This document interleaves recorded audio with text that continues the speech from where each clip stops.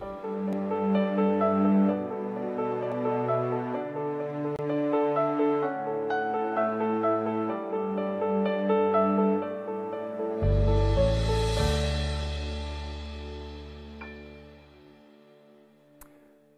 Chers amis, bonjour et bienvenue. Merci d'être avec nous sur la chaîne du bien-être et du développement personnel ABC Talk TV. Ravi de vous accueillir et ravi également d'accueillir des personnalités qui s'installent sur ce canapé et qui font parfois des centaines, de dizaines, de milliers de kilomètres pour venir euh, ici, en France d'abord, pour une tournée promotionnelle de conférences aussi, et puis euh, qui s'autorisent un petit euh, passage sur nos canapés d'ABC Talk TV. Je suis très content d'accueillir euh, Marie-Hélène Gramignano. Est-ce que j'ai bien dit ça? C'est bien? Alors Gramignano, parfait. Par contre, mon prénom, c'est Anne-Hélène. Pourquoi je dis Marie-Hélène? Mais tout le monde, enfin beaucoup de monde. C'est fou ça. C'est fou. Hein. Ça va, Anne-Hélène? Oui, super. Bon, je suis très merci content. beaucoup. Merci, merci. Alors évidemment, ça commence Marie-Hélène, parce que c'était plus simple de dire Marie-Hélène. C'est ça. Vous avez déjà choisi un truc compliqué à la base.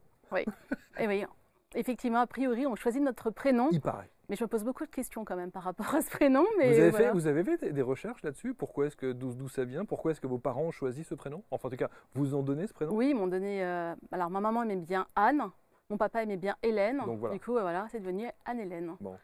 Certains disent que dans le. euh, J'ai entendu beaucoup de conférences, notamment sur les, les- les prénoms, et les prénoms composés, il y a une signification particulière. Est-ce que vous êtes allé gratter un peu autour de ça ou pas? Ah, le fait que j'aurais une jumelle, quelque chose comme ça, c'est ce que j'ai entendu déjà. Ouais, parfois, mais- c'est ce qu'on dit. Non, vous n'avez pas cherché. Bon. Quelques centaines de milliers de kilomètres. Vous venez de Nouméa, Nouvelle-Calédonie. Nouvelle-Calédonie. Mm. Incroyable pour une tournée de, de- de- de conférences, une tournée de.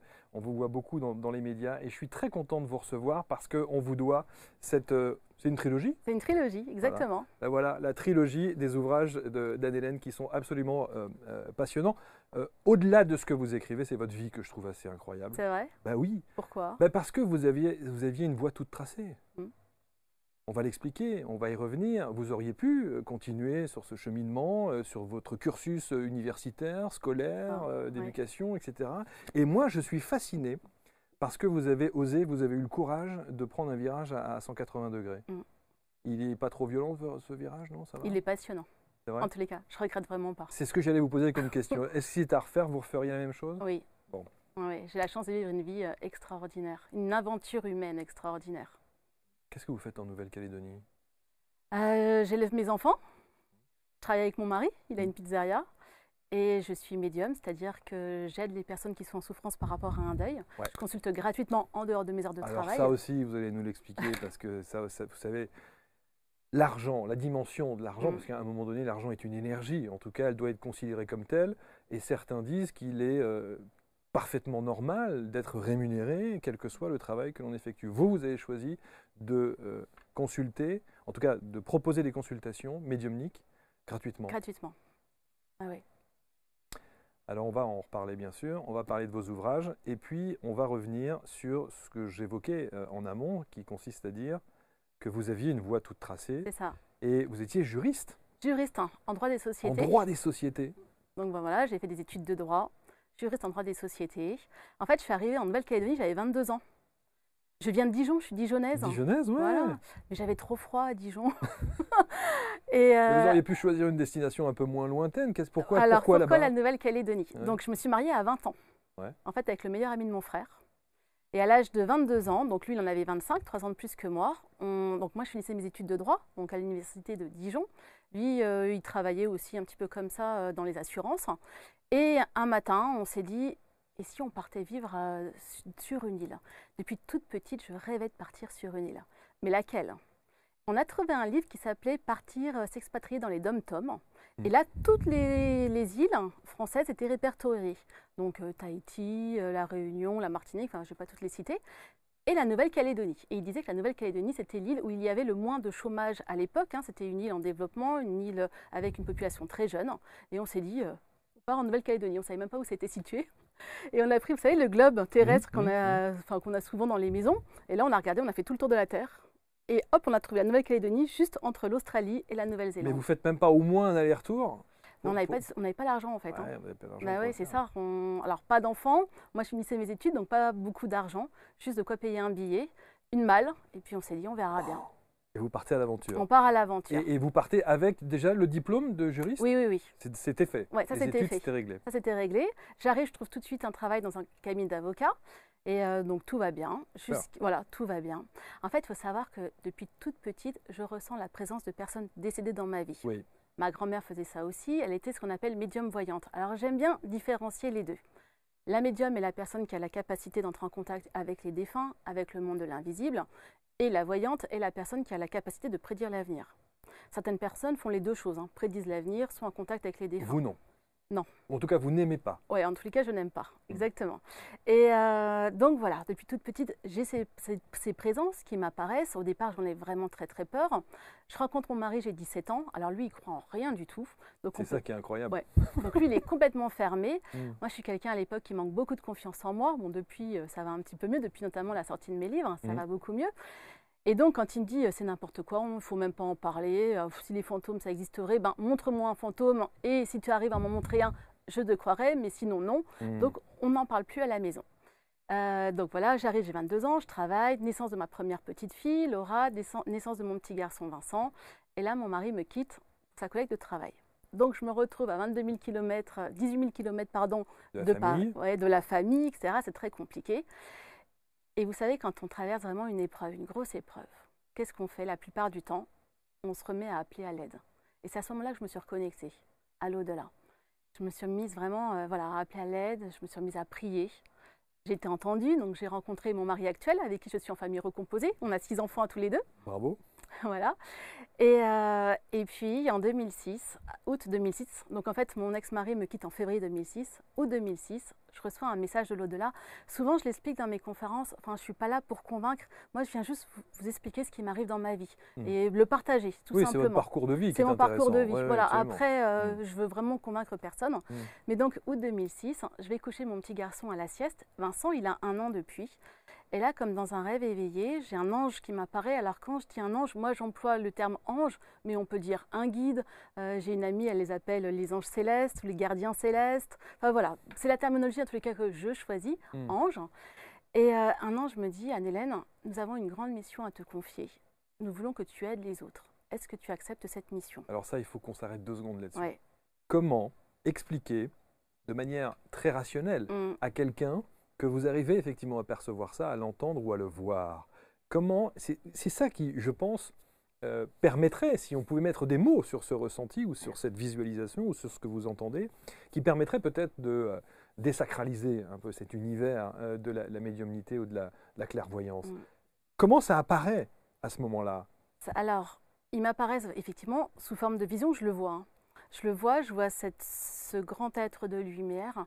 Il est rassurant, il est baigné d'amour. euh, et surtout, ce que j'ai aimé, c'est qu'il n'y avait aucune notion de culpabilité. Je ressentais que de l'amour. Et c'était si tu acceptes cette mission, c'est super. Et si tu l'acceptes pas, ben il n'y a pas de souci non plus.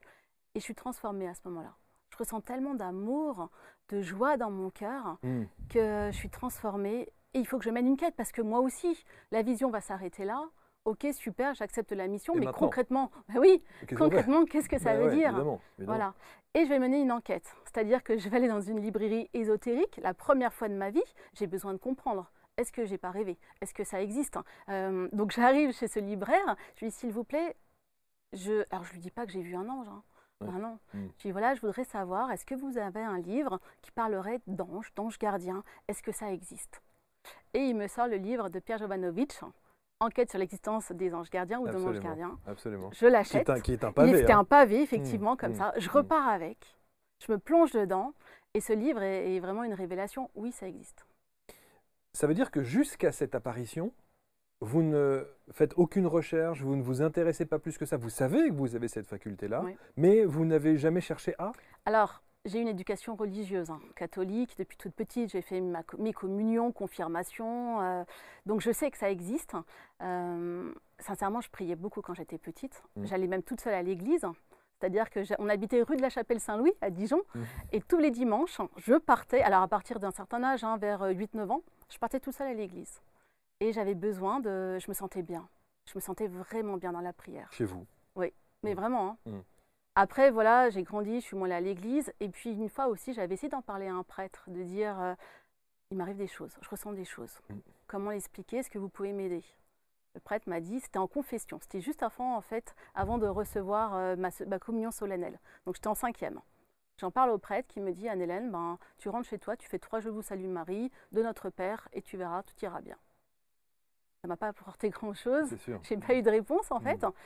Du coup, tout ça, je l'ai gardé en- dans mon cœur, j'en ai plus parlé. Sauf à votre grand-mère. Alors, ma grand-mère, j'étais toute petite, j'avais 8 ans. Quand mamie me dit pour la première fois, ma fille, tu seras la seule de la famille à faire comme moi. Sauf que j'en parle à maman. Elles étaient en conflit toutes les deux, mamie et maman. Donc, euh, ça avait. Ça aide pas. Mm. non, ça aide Mm. pas. Mm. Donc, c'est vraiment devenu euh, tabou. On n'en parle pas, euh, ça n'existe pas. euh. Et entre, donc vous l'avez- on a bien compris qu'entre votre grand-mère et vous, évidemment, il y a votre maman. Votre maman, elle n'a pas ces facultés-là? Si, je savais que maman avait ces, facu- ces facultés-là, mais maman manquait beaucoup de confiance en elle et elle a rejeté tout ça. Ouais, elle a jamais voulu. euh, Ça veut donc dire que le premier constat qu'on fait dans cette médiumnité, on a le choix? On a le choix. On l'accepte oui. ou pas? Et euh, vraiment sans notion de culpabilité. Et c'est ça que j'aime. C'est que tous les messages que je reçois, c'est que de l'amour. Il n'y a jamais de notion de culpabilité derrière. Moi, je voudrais revenir sur cette vision, Oui. euh, pour bien qu'on arrive à, effectivement euh, à, à l'expliquer. Il y a quoi? Il y a une transparence, Oui. il y a une sorte de spectre, Moi, personnellement, oui. Comme un hologramme, par transparence. hologramme. Voilà. Je sais qu'il y a des médiums qui vous diront Moi, je vois les défunts comme je vois vous et moi. Moi, pas du tout. Euh, je les entends par télépathie. Ils me parlent dans ma tête. C'est pas des voix que j'entends. Ça se passe dans ma tête. Donc télépathie, effectivement, sous forme d'hologramme par transparence. Est-ce que vous vous êtes quand même posé la question de savoir si à un moment donné, il ne fallait pas consulter? Est-ce que vous vous êtes posé la question de savoir s'il n'y avait pas quelque chose qui tournait pas rond? J'ai été acheter ce livre, Ouais. Enquête sur l'existence des anges gardiens. Ouais. Et euh, mais je vous assure, je suis tellement remplie d'amour que je me dis que c'est. c'est... Donc oui, j'ai douté, mais cette, euh, cet amour que j'ai reçu à ce moment-là, il est euh, démesuré, il est rassurant. Et on se sent porté, on se sent accompagné. Hmm. Après, ça a été tout un cheminement, parce que comme je l'explique, du jour au lendemain, vous ne pouvez pas dire euh, coucou, Bah oui. Allez, on y un va, hop, on s'installe. allez, on y va. Et combien a de temps dure cette, euh, ce ressenti, cette perception-là? Cette vision que j'ai eue, Ouais. ouais. Ah, c'est une fraction de quelques secondes. Ah, D'accord. Quelques secondes. Et vous avez le temps de comprendre à ce moment-là que vous avez cette mission? Donc après, ça, va être- ça a été effectivement tout un cheminement hein, avant de comprendre que c'était par rapport aux personnes décédées. Parce qu'en fait, au départ, je me suis mise à tirer les cartes comme mamie, parce qu'à ce moment-là, la, vision s'arrête. Waouh J'ai l'existence des anges gardiens, donc ce livre, Mhm. qui me confirme que ça existe. Donc, qu'est-ce que je dois faire? Et là, ça me revient en mémoire. Mamie m'avait dit que je ferais comme elle. Hmm. Qu'est-ce qu'elle faisait, ma grand-mère? Elle tirait les cartes. Donc, je suis retournée dans la librairie ésotérique. Pareil, acheter un jeu de cartes. Bonjour, je voudrais acheter un jeu de cartes. Donc, euh, je lui dis, mais j'ai aucune idée, moi, de savoir quel jeu de cartes. Donc, ce, ce libraire me dit, bah, écoutez, je vous présente plusieurs, plusieurs jeux. Et puis, ben, vous vous concentrez, c'est le jeu qui vous choisira. Et c'est comme ça. Et après, je me suis amusée avec mes copines, Hmm, bah celles oui. qui étaient un petit peu ouvertes. Beaucoup le font. Bah voilà, Voilà. parce que les personnes qui sont fermées, j'ose pas en parler. Pendant ce temps-là, vous continuez à travailler? Ah oui, oui, je suis juriste, hein, toujours. Et, euh, et c'est marrant, c'est que donc quand ça a commencé un petit peu à, à me quand j'ai commencé à me faire connaître, je suis passée à mi-temps au départ. Je suis allée voir mon boss. Alors lui, ça l'éclatait. parce que lui aussi Euh, très je terre à vais- terre. Je vais m'arrêter. Enfin, je vais en tout cas, je vais prendre, je vais ralentir un peu parce que je voudrais faire une autre activité. Ah, bah très bien. Qu'est-ce que vous voulez faire Ouais, ouais, c'est ça. Je vais faire de la médiumnité. Voilà. Donc il m'a dit, Annela, il n'y a pas de souci. Je vous laisse tous vos après-midi, mais je veux que le chiffre d'affaires de la société ne change pas. J'ai ok. Donc là, ça a été, euh, bah, il y avait un petit peu moins de pause de café. et euh, pour faire tout mon travail le matin, pour être tranquille les après-midi. Et puis... Et alors l'après-midi, c'est quoi les consultations? Ouais, j'avais commencé à tirer les cartes l'après-midi. Ah, ça se faisait donc sous, la forme de, de tirage de C'est ça, cartes. tirage de cartes. Mais pas tout de suite, hein. ça c'était vraiment euh, en 2000, je crois que j'ai commencé en 2008 seulement, donc deux ans après, euh, euh, après 2006 évidemment. Et, et ça marchait bien, les gens venaient et je me suis rendu compte que ça me plaisait pas du tout. J'arrivais à capter Ah. quelque chose un petit peu, j'arrivais à, sentir des choses de l'avenir, mais j'ai pris conscience que j'avais, entre guillemets, un pouvoir sur les gens. Et qu'après, certaines personnes ne pouvaient plus euh, prendre de décisions sans m'appeler ou sans venir me voir. Personnellement, ça m'a fait peur. Ouais, il y a une dépendance qui se crée. Ouais, une dépendance. Et je me suis dit, mais je suis qui? Et si je me trompe? Si je me trompe, si quelqu'un va prendre une décision par rapport à ce que je vais lui dire, Hmm. et euh, voilà, je ne suis pas Dieu. Il y a une responsabilité. Ouais, il y a une grosse responsabilité. Ouais. Ça m'a fait peur et j'avais, j'ai, eu peur de ça. Donc, au dé- ah, je me suis arrêtée. À un moment donné, j'ai eu peur. Euh, j'ai tout arrêté jusque- jusqu'à ce qu'ils reviennent me chercher. J'ai eu encore un autre message. Ils m'ont dit, Anne-Hélène, arrête de regarder ton nombril. Il faut que tu reviennes. Je leur ai dit, ouais, non, mais moi, je veux plus tirer les cartes. Et c'est un échange, hein, vraiment, parce que je les entends Mais quand ils me parlent. c'est hein. ça, c'est ça Non, qui non, est mais vraiment. absolument incroyable. Et ils me disent, eh, mais on t'a jamais demandé de tirer les cartes. Oui, mais vous m'avez jamais dit qu'est-ce qu'il fallait que je fasse. Et je leur dis toujours par télépathie, ce que j'aime faire, je me suis rendu compte, c'est de transmettre les messages des défunts. Ça me rend heureuse. Je vois que ça libère vraiment la personne qui vient me voir. Et euh, c'est ce qui me procure le plus de joie, où je me sens le plus à ma place. Là où ils me disent, bah, tu recommences. Et j'ai recommencé en me disant, je ne tire plus du tout les cartes. Mhm. Je fais que le contact avec les Ça personnes. veut dire qu'il y a déjà un premier changement parce que effectivement vous vous libérez à moitié de votre euh, activité professionnelle. Mm. Ensuite, vous vous installez l'après-midi pour faire des consultations, mais via le tirage de cartes. Oui. Et là, vous cassez encore le système puisque vous vous rendez compte que c'est pas tout à fait Ouais. dans, le- dans cet élément-là, avec ce support-là, Mm. dans lequel vous vous sentez le mieux, Mm. et vous repartez encore sur autre chose. Donc il faut expliquer aux gens qui voulaient vous consulter pour les cartes Ah, bah, que vous ne faites plus. Ah ben oui, j'ai plus, euh, je crois que je me mets sur liste rouge, je veux plus faire en fait.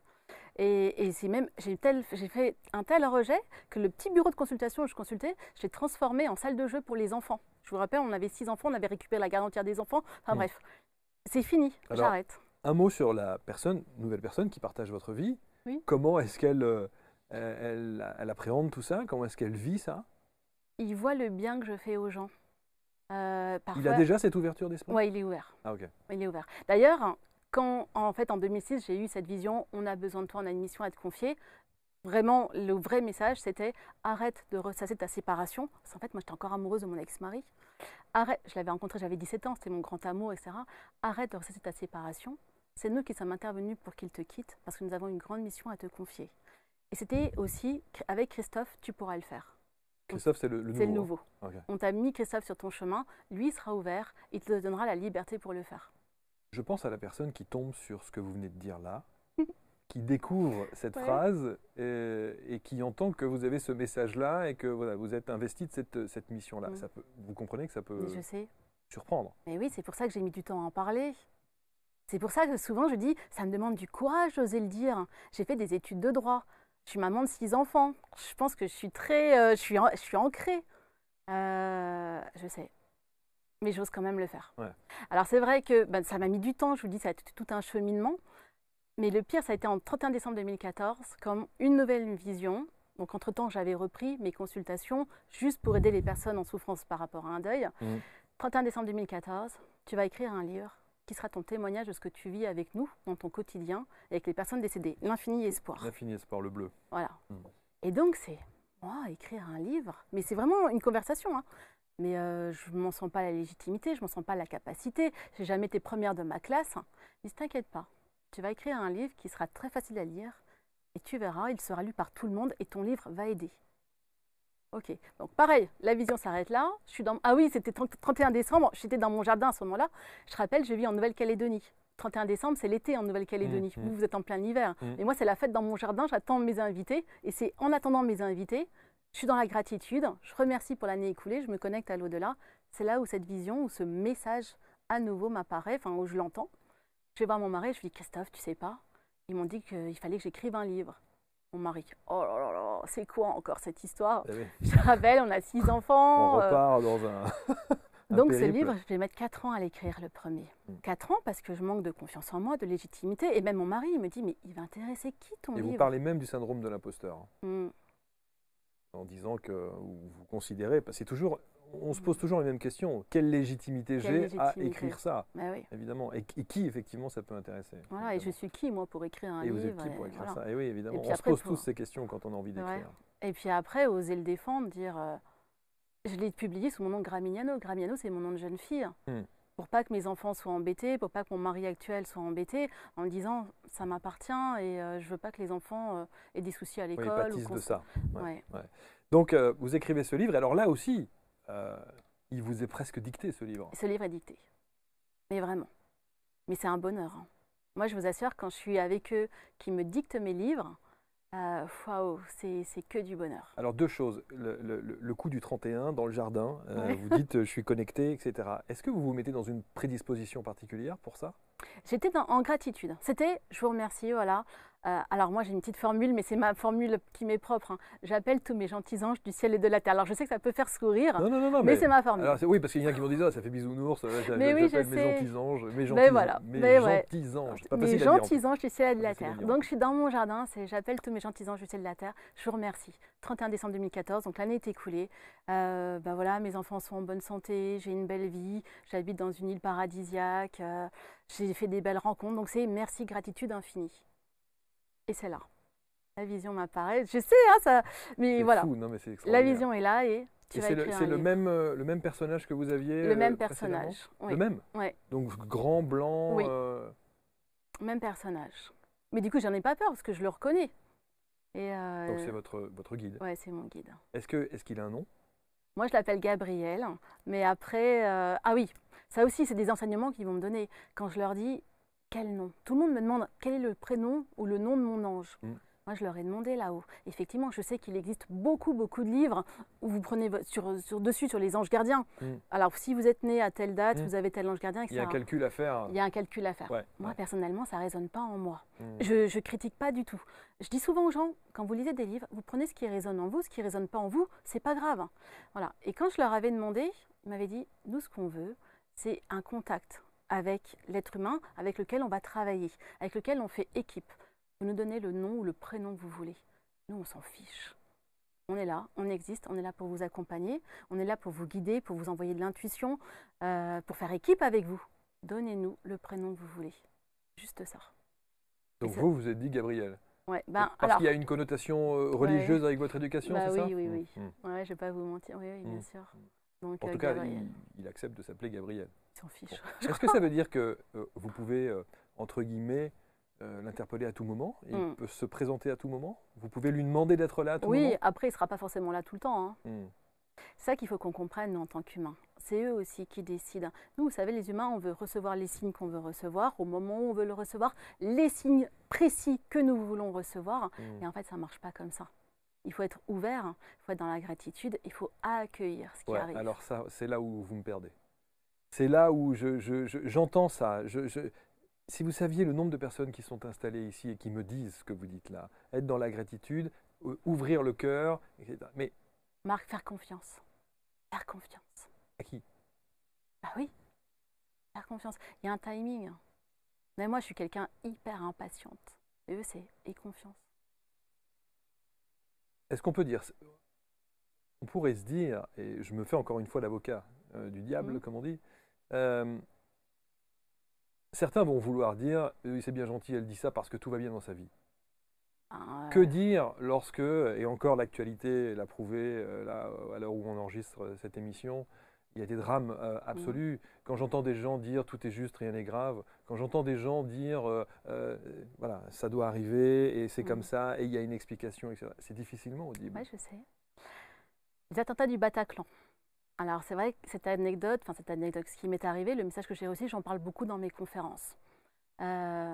Attentat du Bataclan, nous à Nouméa, c'est en plein mois de novembre, je pense que tout le monde s'en rappelle. Novembre 2015, avec le décalage horaire, c'est un samedi matin pour nous. Il fait un temps magnifique. Le soir, je suis invitée à un anniversaire. J'ai retrouvé toute ma bande d'amis. Je suis vraiment heureuse. Et là, mon beau-père m'appelle en me disant Anne, t'as entendu ce qui se passe à Paris? Non, euh, qu'est-ce qui se passe à Paris? Moi, je suis au café, hein, tout va bien dans ma vie. Euh, Il y a des attentats à Paris. Donc, comme tout le monde, je me mets sur les réseaux sociaux, j'allume la radio. Je suis atterrée, je suis euh, profondément bouleversée par ce qui se passe à Paris. Et je ne comprends pas que mes, amis ne m'appellent pas pour me dire Anne-Hélène, la fête de ce soir est annulée. Avec ce qui se passe à Paris, on est français, on ne peut pas faire de fête. J'ai pas d'appel. Donc je vais être dans un état second toute la journée en me disant, je répète en boucle, hein, c'est affreux, mais comment on peut faire ça, c'est affreux, etc. Le soir, je me rends à cet anniversaire, j'en ai pas du tout envie, mais j'y vais quand même. Et à peine je vais être arrivée, on me sert une coupe de champagne, je me sens très très mal. Je vais aller m'allonger dans une chambre. C'est des amis très proches, j'ose leur dire, je me sens pas très bien, est-ce que je peux aller m'allonger? Ok. Et là, c'est à nouveau pareil. Je suis allongée dans ce lit et j'appelle tous mes gentils anges du ciel de la terre. Comment on peut faire la fête quand dans le monde, il se produit des atrocités Comment c'est possible? Et là, je suis entendue, message bah, de Gabriel, hein, qui me dit Ne te culpabilise pas de ta présence à une fête lorsque dans le monde, il se produit des atrocités. Parce que les atrocités qui se passent dans le monde sont en train d'étreindre la lumière de la terre. La lumière de la terre que vous, humains, vous créez par votre amour, par votre joie, par vos prières. La lumière que vous allez créer par votre amour, votre joie, vos prières, va être récupérée sous forme d'énergie.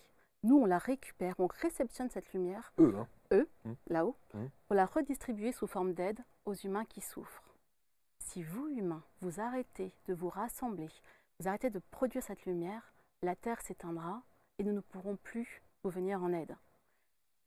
La Terre est déjà éteinte dans certaines parties où il y a la guerre. Si les autres parties où il n'y a pas la guerre, où vous pouvez créer cette lumière, vous ne le faites plus, Mm. la Terre va, devenir dans- va être dans l'obscurité.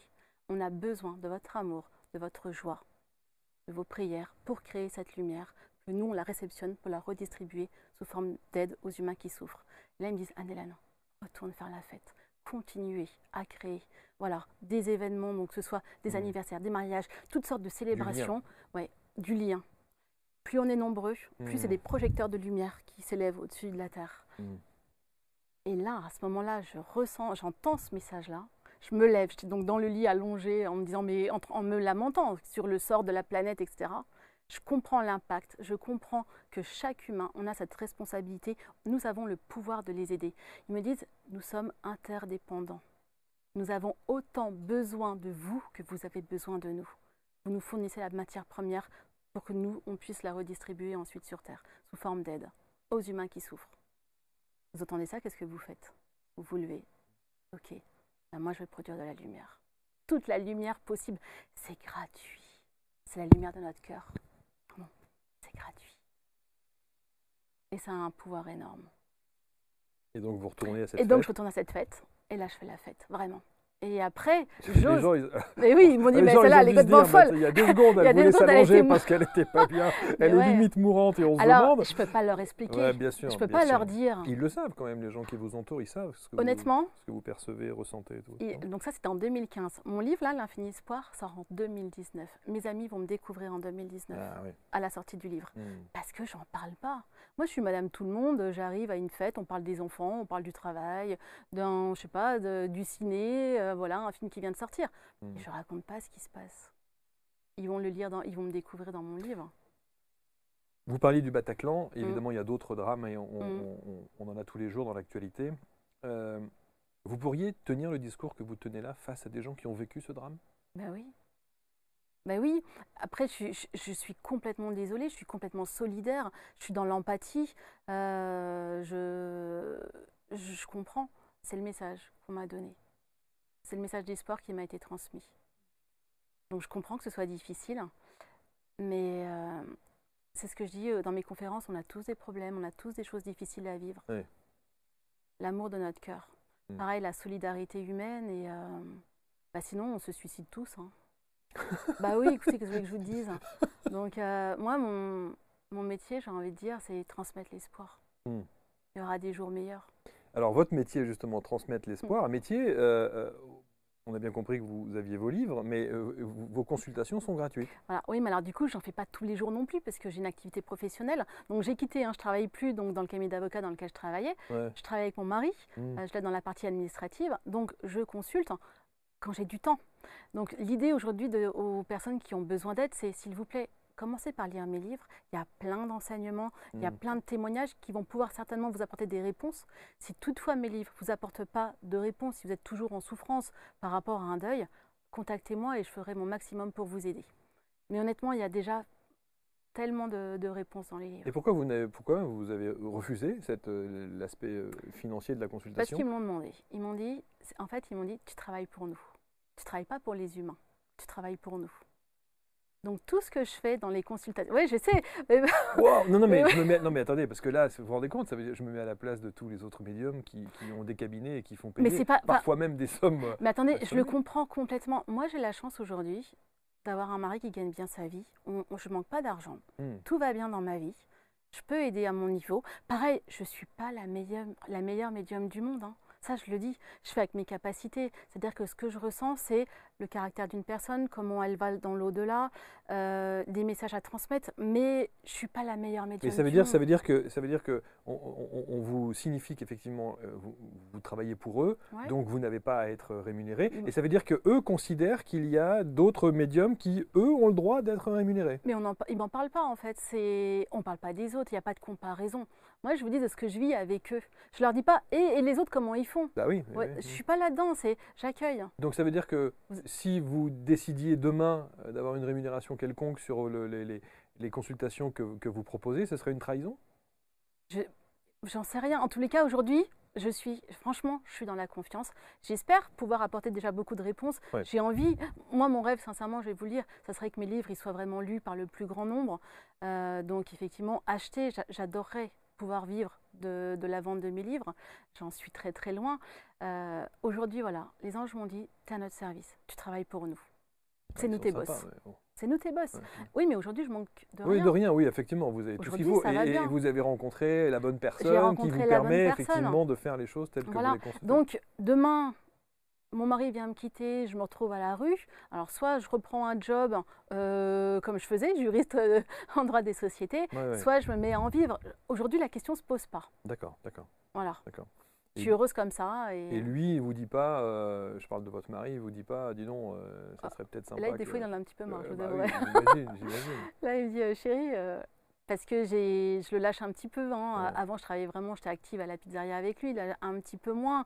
Donc, il me dit, Pff, c'est lui qui peut en pâtir. Et puis, mes enfants aussi. Ouais. Mes enfants. Mais euh, Est-ce que vous avez des messages pour vos, votre mari, vos enfants? Non. Parce que vous n'en demandez pas? Euh, j'ai essayé, mais j'ai pas. Alors, je sais pas. J'ai pas de message pour mes enfants. Et pour vous non plus, comme tous les médiums, euh, à chaque fois c'est toujours la même chose. C'est-à-dire qu'ils n'ont À part pas me de- dire, sois patiente. Et confiance, sois Ouais. patiente. Mm. Mais euh, non, sinon, non. Mm. Et puis, j'ai envie de vous dire, ma vie, elle est magique. Vous voyez, notre rencontre aujourd'hui, il y a quelques mois, je, jamais j'aurais imaginé être invitée sur votre plateau et quelque part euh, découvrir tous ces cadeaux de la vie au fur et à mesure. Je trouve ça super. Alors que si euh, vous avez tout de suite une grosse boîte avec tous vos cadeaux, bah, vous ne les appréciez pas. Alors que quand ça arrive au fur et à mesure dans votre parcours de vie, c'est que du bonheur et c'est waouh C'est ce que vous arrivez à inculquer à vos enfants? J'essaye.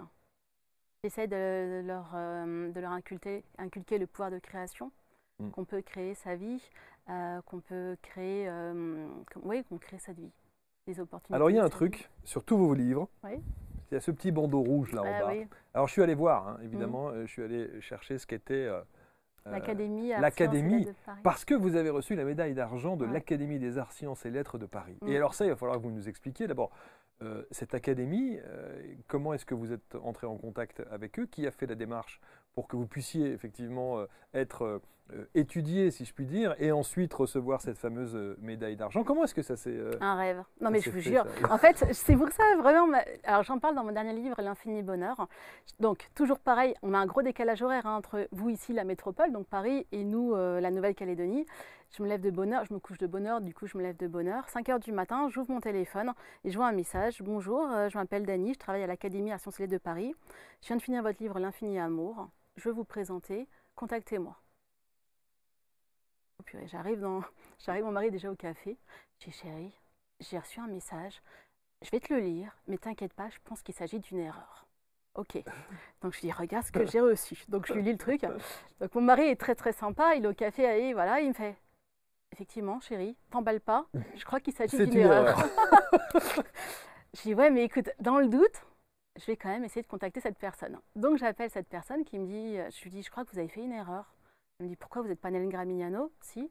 Vous n'êtes pas l'auteur de l'Infini Amour? Parce qu'elle avait déjà lu l'Infini Espoir, cette dame-là, mais elle a été touchée par le deuxième, l'Infini Amour. Et elle est quoi? Quel est son poste, cette dame, dans ce... Dans ce Elle est chargée de, recruter des pépites. D'accord, Voilà. Et, et elle me le dit. Voilà, je veux vous présenter. Je dis, mais euh, vous savez que je suis médium.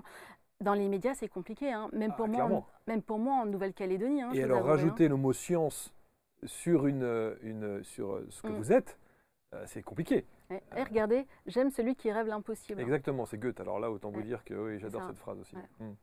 Donc, Et donc, euh, je lui dis, ben écoutez, je... elle vous dit non, non, c'est pas une erreur. Ouais, c'est pas une erreur. faut me constituer un dossier, etc. Je vais vous présenter. Bon.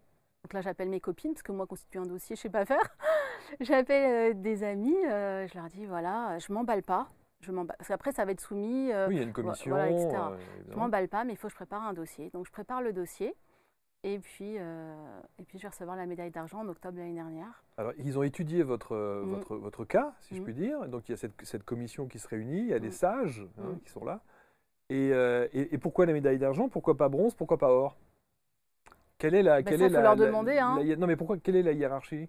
Je sais pas. Bah, alors si, je la connais. Effectivement, il y a bronze, argent, or. Je crois même qu'en dessous, c'était... Euh... Oh là, honnêtement, je me souviens plus. Non, non, il y a plusieurs euh, paliers. Euh, ben, ils ont décidé, je sais pas, l'argent, mais j'étais ravie. Je dis merci. Donc vous, êtes, vous, êtes allé à la, vous êtes allé à la... Alors, j'y suis pas allée parce que donc l'année dernière, au mois de juin, j'ai fait des conférences en France, comme cette année, comme là mmh. je viens de refaire. Mmh. Et j'ai rencontré tellement de mamans qui étaient en deuil. Euh, j'étais bouleversée. Si vous voulez, donc je fais ces conférences, je rencontre plein de personnes qui sont en deuil, des mamans qui ont perdu leur enfant, qui pour tout au monde aimeraient revenir en arrière. Et la cérémonie de la remise des récompenses a lieu en octobre. En octobre. Mmh. Ça tombe pile pour les 20 ans de ma fille. C'est les vacances scolaires en Nouvelle-Calédonie. Et là, je vais avoir le choix. Est-ce que je reste avec ma famille, c'est les 20 ans de ma fille Laura. Hmm. Est-ce que je viens à Paris pour remettre une médaille, enfin pour qu'on me remette une médaille? Et là, la question, ça a été euh, toutes ces mamans qui pleuraient euh, la perte de leur enfant. Moi, j'ai la chance d'avoir mes enfants qui sont en bonne santé. Les 20 ans de ma fille, bah, je crois que c'est qu'une fois dans une vie. Et je Surtout 20 ans. Surtout 20 ans. Hmm. Euh, je les avais laissés déjà longtemps pour faire toutes ces conférences là en hmm. juin-juillet. Donc vous n'y allez pas? J'y suis pas allée. Bon. Et vous l'avez reçu quand même Oui, je l'ai reçu. Ça, c'est extra. Qu'est-ce que ça vous apporte aujourd'hui? Est-ce que c'est. Euh, d'abord, il y a un sentiment de fierté, j'imagine. Ensuite, il y a la, surprise, vous l'avez dit. Mmh. Mais euh, est-ce que ça vous apporte une crédibilité encore supplémentaire? Oui, les gens, ça les rassure quand ils voient le bandeau euh, sur mes livres. ça leur donne envie, ils se disent tiens, elle est reconnue, et voilà, ça donne une légitimité, ils ont peut-être plus envie de, de me découvrir. Voilà. Et ça veut dire qu'il y a, d'autres médiums au sein de l'académie? A priori, je serais la seule. Incroyable Mais oui Incroyable Non, mais même pour moi, hein, je me dis, mais c'est pas possible. Non, mais j'ai une chance euh, inouïe. Mais vraiment. C'est beau Moi, c'est gratitude, oui. Mais je, trouve ça fascinant parce que ça veut dire d'abord, ça veut dire qu'il y a une belle ouverture d'esprit au, sein de l'académie. Oui, tout à fait. Euh, que vous êtes la seule médium, donc c'est quand même assez, euh, mm. assez étonnant. Est-ce qu'ils vous suivent ensuite? Est-ce que euh, Oui, la personne qui m'a recruté, repéré, elle, donc elle s'appelle Dani. Et effectivement, elle suit mon parcours, elle est contente pour moi. Ouais, non, c'est chouette. C'est une belle reconnaissance. Donc aujourd'hui, l'objectif de votre vie. Alors, ces livres sont également traduits en braille? Oui, alors ça, c'est un cadeau. Ça, c'est extraordinaire. Mais vraiment. Et euh, donc Adeline Coursan, la présidente de l'association donc du centre de transcription en braille de Toulouse, a transcrit tous mes brailles. Même j'ai deux comptes pour enfants qui sont transcrits en braille. Ah oui, je les ai au bureau, effectivement, je les ai pas mis. Ah ouais. et, et, je trouve ça magique. Vous savez que seulement 3%, 3 des livres édités chaque année en France sont hmm. transcrits en braille. Tous mes livres sont transcrits en braille. Moi, la petite Calédonienne qui vit à 18 000 km de Paris, et c'est un cadeau, mais vous ne pouvez pas savoir. Quand j'ai reçu par la poste mon premier exemplaire, L'infini espoir, pardon, transcrit en braille, donc vous recevez des, grands cahiers comme ça, tout blanc, mmh, bah avec voilà, donc avec cette écriture en, relief. Mmh. Mais j'ai pleuré. Bah oui. Parce que j'ai trouvé ça magnifique. On a le sentiment que vous vous laissez porter hein, par ce qui vous arrive, mmh. euh, que vous ne, vous ne demandez rien en plus. Non. Non, mais vous savez, je suis émue. Hein. Là, je vous parle, mais je suis hyper émue de tout ça. Vous êtes consciente de ce qui vous arrive? Ouais. Après, je vous assure que c'est toute ma vie. C'est des heures de travail. Bien sûr. C'est euh, essayer de répondre aux messages de chacun. Là, j'ai du retard dans les messages, mais essayer d'apporter tout cet amour, tout cet espoir. Quand je fais des dédicaces et que je vois qu'il y a la queue à mes séances de dédicaces, des gens de toutes les communautés, parce que nous, en Calédonie, on a plusieurs communautés hein, qui vivent en Nouvelle-Calédonie, que ce soit la communauté mélanésienne, wallisienne, européenne, indonésienne, enfin, toutes ces communautés-là, font tous la queue pour venir me voir. Quand j'ai des Mélanésiens qui me disent vos livres sont lus en tribu. On ne lit pas, nous, en tribu. Vos livres, on les prête de tribu en tribu. Incroyable. Bah, vous savez, je me mets à pleurer en fait. Bien sûr, bien sûr. Je trouve que c'est beau. C'est magnifique. Vous parliez de votre fille de 20 ans. Mm. Euh, elle a les mêmes perceptions? Non. Alors, ils, sont baignés. Hein. Ah Donc, c'est-à-dire qu'ils y croient. le soir, ils appellent leur ange. Ils font. Bah euh, voilà, ils remercient pour la journée. Vraiment, je leur, je leur enseigne la gratitude. J'essaye au maximum. Et, euh, et, puis ils sont fiers de moi, de mon parcours. Euh, là, quand je leur ai dit, maman, elle repart, je suis partie pratiquement six semaines. Je les ai laissés là. pour accompagner, faire ses conférences. euh, Hmm. Et il m'appelle, maman, ça s'est bien passé, on est content pour toi. Mm. Alors, ce qui est important qu'on sache aujourd'hui, Anne-Hélène aussi, c'est que, euh, évidemment, on a des questionnements. tout le monde se, se- se pose des, des questions existentielles sur, euh, sur la planète, sur euh, notre avenir. euh, on a toutes ces informations qui sont extrêmement anxiogènes. Il n'y a Mm. pas une chaîne d'infos qui nous remonte le moral. hein, on est bien, on est bien d'accord. Quel message, vous, vous avez de votre côté, à part le fait d'entendre à longueur de temps et confiance Ayons confiance. Oui, d'accord, mais qu'est-ce qu'on fait Nous sommes sur Terre pour créer de la lumière. Nous sommes sur Terre pour créer de l'amour, de la lumière. C'est la mission commune à tous les humains. Je sais, hein, ça peut paraître basique. et très abstrait. Ça semble abstrait, en tout cas. C'est ouais, c'est super compliqué à, à- à- à mettre en, quand place quand vous ressentez, avez, euh, quand vous avez justement les vies anxiogènes que nous avons. euh, euh, on sent bien aujourd'hui que les gens sont euh, extrêmement stressés, que les gens sont Alors extrêmement- sincèrement, moi, j'ai pas la télé chez moi. Je l'allume pas. les gens ont peur, les Ouais. gens, euh, il y a la colère, euh, Ouais. il y a beaucoup de choses comme ça qui sont. Il y La a un colère, environnement, une ouais. vibration assez né- négative. comprends. quand même. La colère notamment produit un brouillard qui empêche en fait la connexion avec l'au-delà. Plus on est en colère, plus on crée un petit peu, les anges m'ont dit, c'est comme un parapluie. Toute cette colère-là, elle crée un parapluie et on n'arrive plus à communiquer avec vous, on n'arrive plus à vous envoyer euh, voilà, de la tranquillité, de la sérénité, de la paix.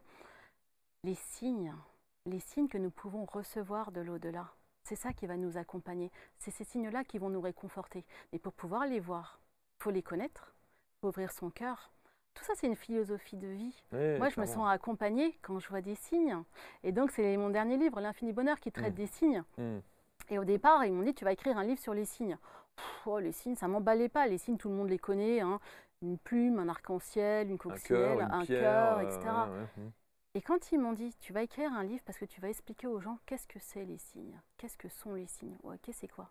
Ils m'ont dit, les signes, c'est la langue universelle que nous avons créée pour vous, pour être en connexion avec vous, pour vous rassurer, pour vous montrer que vous êtes là, pour que vous ne vous sentiez pas abandonné, pour que vous vous sentiez accompagné. Et effectivement, je vous le dis, quand moi je découvre un signe, avant de venir sur le trottoir, je marchais, c'était si l'interview se passe bien, envoyez-moi tout de suite un signe. Il y avait une plume à mes pieds à Ah, l'instant, je vous jure. Et là, mais oui, mais c'est toujours, euh, Ouais. c'est toujours un petit peu stressant Oui, d'arriver à une interview. Et, et la plume était là et c'était yes. On est réconforté, on est accompagné quand on sait qu'on est en binôme avec quelqu'un là-haut, Hmm. quand on sait que le monde de l'invisible est juste derrière nous. Donc faire confiance, mais c'est aussi leur dire aidez-moi, donnez-moi de la force, donnez-moi du courage. Euh, toute cette peur, aidez-moi à ce que les peurs euh, ben, puissent un petit peu euh, se mettre de côté. On leur confie nos peurs, on leur confie nos- notre désespoir et, et puis on s'ouvre aux signes, on les ressent, on se sent accompagné, on se sent. Moi, je me sens portée.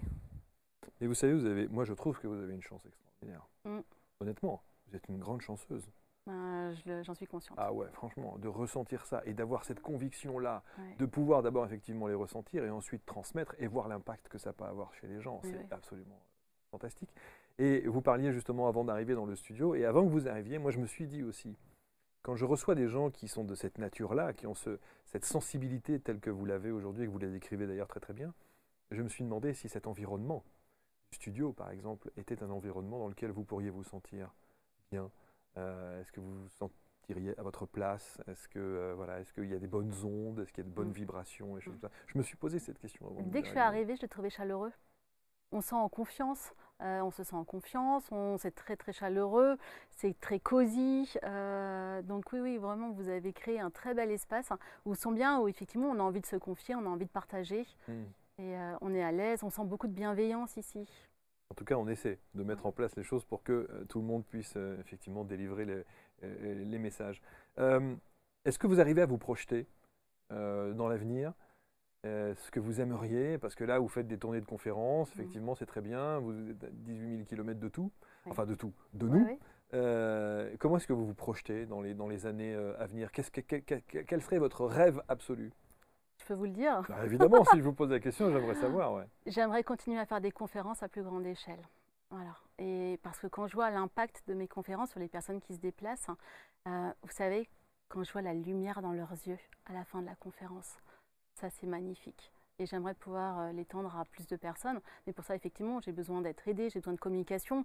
Aujourd'hui, ce sont mes lectrices qui me reçoivent, hein, ou mes lecteurs, parce que aussi j'ai Roger Pernel notamment à, qui je pense, hein, qui me disent Anne-Hélène, on a adoré vos livres, on voudrait vous recevoir, on va se débrouiller pour vous louer une salle, pour faire de la com, pour faire venir les gens. Et voilà, j'ai une équipe qui travaille avec moi. C'est vrai que j'aimerais pouvoir accroître un peu plus cette équipe. Hein. Mais c'est déjà pareil, gratitude infinie, vraiment. Les conférences que, vous proposez, euh, c'est de la médiumnité pure? Non. Donc j'explique mon parcours, j'explique ces messages. En fait, ce que j'aime, donc, c'est les messages et des fins mais c'est aussi les enseignements que je reçois, les enseignements de mes anges, ce que j'appelle mes anges. C'est tellement des enseignements qui apportent de l'espoir, du réconfort, de l'aide. Euh, c'est des outils en fait que je donne dans mes conférences. Et après, effectivement, au moment des dédicaces, les personnes peuvent venir avec une petite photo et je peux délivrer des messages.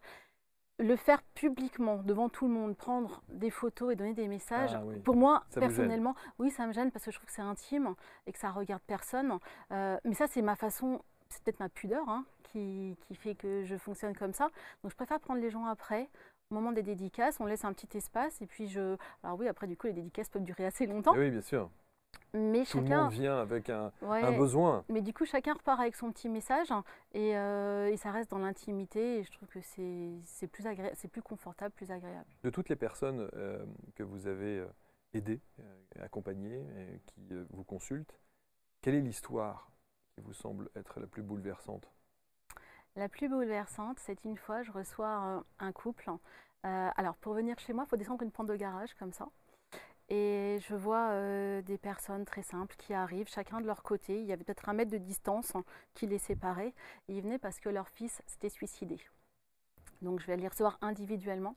Je reçois déjà la maman qui me dit, euh, donc je lui dis voilà, je suis en contact avec votre fils. Et ce qui touche votre fils, c'est qu'avec votre mari, vous ne vous parlez plus. Il vous voit dans la cuisine isolée, il voit son papa de l'autre, dans une autre pièce, et il n'y a plus de communication depuis, depuis, depuis qu'il s'est suicidé. Et euh, cette dame, elle me dit, ben, effectivement, on ne se parle plus avec mon mari. Euh, moi, j'aurais besoin de parler tout le temps de Sébastien, de, comment il était, etc. Et mon mari, c'est terminé. Il a, veut plus, il a un blocage, il ne veut plus en parler, et ça crée une distance entre nous. Et après, donc, je lui dis, avec son fils. Donc, alors, je passe les détails hein, de pourquoi il s'était suicidé, euh, le pardon qu'il a eu besoin de faire, mais c'était par amour pour moi. J'aimerais vous revoir solidaire comme vous étiez avant, avec vraiment euh, voilà de la complicité. Et il va donner, donc après, je vais recevoir le papa. Et à son papa, pareil, il va lui dire Papa, on n'a jamais échangé tous les deux. Euh, de mon vivant, on était très distants l'un de l'autre, mais j'ai beaucoup d'amour pour toi. Et le, comportement que vous avez avec maman me touche et me fait de la peine. Et j'aimerais voilà, que vous retrouviez cette complicité. Et quand ils sont partis de chez moi, ils ont remonté la pente de garage et s'étaient donné la main. Ah, magnifique. Mm. Ah, c'est beau ça. Et, euh, et donc j'ai la vision de tous les deux, main dans la main, qui sont repartis de chez moi. Et là, ça a été euh, mission accomplie. Lorsqu'il y a ce... Comment, il s'appelait ce jeune homme? Sébastien. Sébastien. Euh, lorsqu'il y a cette consultation, il est là? Oui. Vous le voyez? Oui. Clairement. Toujours pareil, par transparence, attention, hein, je ne le vois pas comme je vous vois là. Hein. Ouais. Je le vois, il est là. Et vous l'entendez? Et je l'entends. Et je l'entends. Et c'est lui qui me dit tout ça et moi je transmets. Et la maman m'avait confirmé. Effectivement, on ne se parle plus avec mon mari. Euh, c'est vrai ce qu'il dit. Et, ça les a touchés. Et j'espère après que cette complicité, elle a pu repartir. Et c'est là où je me dis, euh, voilà, je sais pourquoi je le fais. C'est magnifique, mais et en même temps, je me dis, euh, j'entends pas de médiumnité, hein. mais j'entends euh, des gens dire oui, mais euh, évidemment, elle les a vus descendre, ils sont à un mètre l'un de l'autre, euh, ils se tiennent pas la main, ils sont pas très complices, donc on peut en déduire qu'il n'y a pas de communication et qu'ils se parlent pas. Non, parce qu'il y a des gens qui peuvent euh, être dans la pudeur. Hein, oui, oui, c'est vrai aussi. Ouais, ça ne veut mm. rien dire du tout. Hein. Mm, pas mm. parce qu'ils sont. Euh, alors j'ai dit un mètre, peut-être qu'il n'y avait pas tout à fait un mètre. Oui, non, non, mais bon. Mais euh, il y a des gens qui ne sont pas très démonstratifs. j'ai un couple d'amis, ils sont très amoureux, mais en public, il n'y a pas d'échange particulier, alors que dans l'intimité, ils sont hyper complices. Et, donc non, pour moi, ça ne veut rien dire. Est-ce qu'il vous arrive parfois, lorsque on vous consulte, que vous disiez, bah, pas possible, ça ne marche pas? Oui, ça arrive. Oui, ça arrive. Je ressens rien. Oui, ça arrive. C'est pour ça, alors ça aussi, vous voyez, le fait aussi que je fasse gratuit, donc je suis à leur service, etc., c'est vrai. Et, mais le fait que je fasse gratuit, ça m'enlève une pression. J'ai un sentiment de ne pas d'avoir d'obligation de résultat. ça, En disant, bah, je vous ai fait perdre votre temps, j'en suis vraiment désolée, mais j'ai perdu aussi le mien, et je vous promets rien. Et c'est pour ça que je ne sais jamais à l'avance comment une consultation va se passer. Je ne sais pas si j'aurai des messages. Pareil, quelqu'un qui va me dire, moi je viens parce que ma grand-mère est décédée, etc. Et puis finalement, en me connectant avec l'au-delà, c'est le grand-père qui va arriver. Je... Et donc elle va me dire, mais moi c'est pas avec mon grand-père que je voulais parler, c'est avec ma grand-mère. Mais la grand-mère, elle a rien à dire, parce que ça arrive hein, que dans l'au-delà, une fois qu'ils sont bien, qu'ils ont passé, euh, que tout est ok, que leur ils sont contents de leur vie sur Terre et qu'il n'y a rien à réparer, la grand-mère, à part dire, bah, tout va bien pour moi, c'est tout. Ce que j'aime, c'est quand il y a quelque chose à réparer, que ça apporte une aide. Mais après, de savoir euh, là-haut, papy va bien, mamie va bien, la tata va bien. C'est souvent euh, des messages comme ça que, bah oui. Pour moi, ça n'a pas forcément d'intérêt. Ce que j'aime, c'est quand il y a vraiment une problématique, quelqu'un me dit J'arrive pas à avancer, je suis bloqué dans ma vie. Et là, pour moi, il y a un petit challenge. Ok, comment je vais faire pour vous aider? Mais la personne qui me dit ben, Allez-y, dites-moi, je voudrais voir si tout le monde va bien là-haut. Ben oui, la plupart du temps. et heureusement, et heureusement que ça va bien là-haut. C'est fascinant. Moi, je trouve que c'est vous avez un parcours de vie qui est incroyable. Et alors, vous êtes, je trouve, l'incarnation même du lâcher prise. Ah, peut-être pas toujours quand même. Hein. Parce que vous êtes une maman, vous êtes occupée, que vous avez aussi vos doutes et vos incertitudes. Et d'abord, est-ce que vous avez des doutes? Ben oui. Quand je suis venue ici, là, quand j'ai préparé ma tournée, est-ce que je vais être face à une salle vide? Est-ce que les gens vont se déplacer? Est-ce que je vais revenir? Est-ce que je vais réussir à transmettre mes messages d'amour, de paix, d'espoir? Est-ce qu'ils vont être entendus? Est-ce que ça va être perçu? Est-ce que mon message va être compris? Est-ce que vous avez des doutes sur votre capacité euh, d'entendre et de percevoir? Non, je me dis qu'aujourd'hui, ils me font confiance et j'arrive à avoir ces messages. Et si demain, euh, je les ai plus, j'aurais vécu une belle aventure humaine. Et euh, je trouverais ça dommage parce que j'aime vraiment faire ça. J'ai trouvé ma place sur Terre. Mais après. Euh, Alors, il y, a un conférencier que vous connaissez peut-être qui s'appelle Thierry Janssen. Thierry Janssen, qui est un type extraordinaire et qui, euh, euh, pour ceux qui ne connaissent pas, qui est un ancien chirurgien et qui a décidé de, plaquer évidemment l'univers hospitalier pour se véritablement être aligné avec ce qu'il ressent et ses perceptions et tout. Et il est dans la méditation. On va faire une belle tournée de conférences avec lui là prochainement. Et lui, pourquoi je vous parle de, Thierry Janssen? Parce que justement, il a il a cette, faculté, cette intuition-là, et, il a mis en place des rituels. Les rituels le matin, les rituels la midi, les rituels le soir. Est-ce que vous avez ça aussi, vous, dans votre vie quotidienne, justement pour rester euh, connecté comme vous l'êtes? J'aime bien au moment de mon café. Alors, j'ai la chance hein, d'avoir une belle vue mer à la maison. Prendre mon café, me connecter, voilà, euh, devant euh, cette nature. Et puis, moi, c'est souvent surtout de la gratitude. Merci. Merci. Et puis aujourd'hui, je vais essayer de créer de l'amour, de la joie autour de moi. Et, euh, Ça, vous le faites tous les jours? Pratiquement, ouais, tous les jours. C'est un, un, besoin. Après, ça ne dure pas trois heures hein, non, non Non, bien hein. sûr, bien sûr. Voilà. Oui, c'est un petit rituel. Oui, c'est des petits rituels. Euh, j'ai des petites musiques aussi, comme ça, un petit peu fétiches, avant de venir dans une interview ou de faire préparer une conférence. Besoin d'être centré, concentré. Euh, je me rappelle beaucoup, j'ai envie de parler de lui, c'est David Laroche. Mmh. Franchement, il m'a énormément aidé. Alors, il ne me connaît pas. Hein. Parce que moi, je lui parle. Je regarde ses vidéos, je lui parle. J'ai mon amie qui est là, Véro, elle me dit En fait, tu le connais bien, David Laroche? Parce que souvent, je lui dis David, il m'a dit ça, David m'a dit ça. Mais non, c'est dans les vidéos. il ne me connaît pas. Et euh, ah zut, et j'ai perdu le fil par rapport Laroche, à David. Pour ceux qui ne connaissent pas, qui est un entrepreneur euh, qu'on voit très régulièrement hein, sur les, qui est jeune. Il est euh, très jeune. Qui, est jeune, qui a un parcours de vie aussi. ouais, c'est un coach de vie, qui est un mm. entrepreneur assez incroyable. Et, et, qui lui aussi hein, fédère autour de, ce, de sa de son discours. Et pourquoi vous vous êtes intéressé? Parce qu'il est un peu aux antipodes de ce que vous êtes. Hein. Parce que je manquais de confiance en moi. Ah. Et c'est par rapport euh, à la confiance qu'il a réussi à me donner, d'oser. Il m'a donné, une, il m'a donné, il le sait pas, hein, une, dans une de ses vidéos, j'ai eu un outil qui, m'a, qui a changé ma vie, je pense. J'allais sortir l'infini espoir et euh, j'avais rencontré une agence de com pour faire ma page Facebook, etc. Cette agence de com en Nouvelle-Calédonie me demandait l'équivalent de 2000 euros, parce qu'on a une autre monnaie hein, en Nouvelle-Calédonie, mais l'équivalent de 2000 euros. Je me suis dit, mais je suis qui, moi, pour investir 2000 euros dans une page Facebook, un livre qui n'est pas encore sorti, je ne sais mmh. même pas si je vais en vendre un exemplaire, et euh, c'est de l'argent que je vais prendre sur le budget de la famille, 2000 euros. Je trouve que c'était énorme. Et là, la phrase de David, si tu ne prends pas ta légitimité, il n'y a personne qui te la donnera. La légitimité, elle viendra de toi. Et ça, il le dit dans une de ses vidéos. Et à ce moment-là, on tend ce contrat où il faut signer les 2000 euros. Et euh, je me dis, ok David, ben, je te fais confiance. Et effectivement, si je ne me pense pas être légitime, si je m'octroie pas, je m'octroie, oh là, je vais y arriver. Si je ne me donne pas cette légitimité, il n'y a personne qui me la donnera. Et je crois que ça a changé quelque chose. Et à ce moment-là, je signe ces 2000 euros. Et, c'est en ça qu'il m'aide énormément. Enfin, voilà, il m'a réussi à me donner confiance en moi, à réaliser ses rêves, à, voilà, comment dire, l'escalier, c'est-à-dire marche après marche. Et, euh, et je l'en suis infiniment reconnaissante, vraiment, de tout ce qu'il m'a apporté. Et pareil, hein, David, hein, on peut dire, ouais, c'est un entrepreneur, mais il a beaucoup de vidéos gratuites. Oui, oui, bien sûr. Et moi, je me suis formée au départ, euh, pendant un an et demi, gratuitement sur YouTube, sans, sans, rien attendre en retour. Hein. Hmm. Et euh, voilà, donc il m'a vraiment aidé. Pour terminer, Anne-Hélène, euh, j'aurais juste à voir, euh, j'aurais avoir une espèce de, de, vision à moyen, court terme ou long terme sur la race humaine. Est-ce que alors vous êtes d'une nature optimiste, hein. ça c'est clair, ça se voit, vous rayonnez et ça, vous êtes solaire, c'est vrai, vraiment. Est-ce que vous êtes optimiste pour, le, pour la suite? Qu'est-ce qu'on vous dit? Rien. on vous dit rien? J'ai pas de message. Je ne vais pas vous mentir, j'ai aucun message là-dessus. Donc, euh, moi, c'est vivre au jour le jour. Une fois, quelqu'un m'a dit Anne-Hélène, tes enseignements, c'est vraiment euh, comme au CP. Hein. Toi, tu n'es pas dans une classe très élevée. Tu es un petit peu une enseignante de CP. Et eh bien, vous savez quoi? Ça me va bien. Oui, bien sûr. Moi, je suis ravie d'enseigner au CP avec les enseignements qu'il me donne, qui m'apportent déjà tellement d'amour, de joie et euh, ouais, voilà, d'espoir dans mon quotidien que c'est ce que j'ai envie de transmettre. Et ce qui va se passer euh, l'année prochaine, dans 10 ans, dans 15 ans, j'en ai pas la moindre idée. Mais on vit. Euh, alors, je sais que nous, on aime bien. C'est rassurant de savoir ce qui va se passer. on a besoin de savoir. Eh ouais, bien sûr. Eh ben, je sais pas.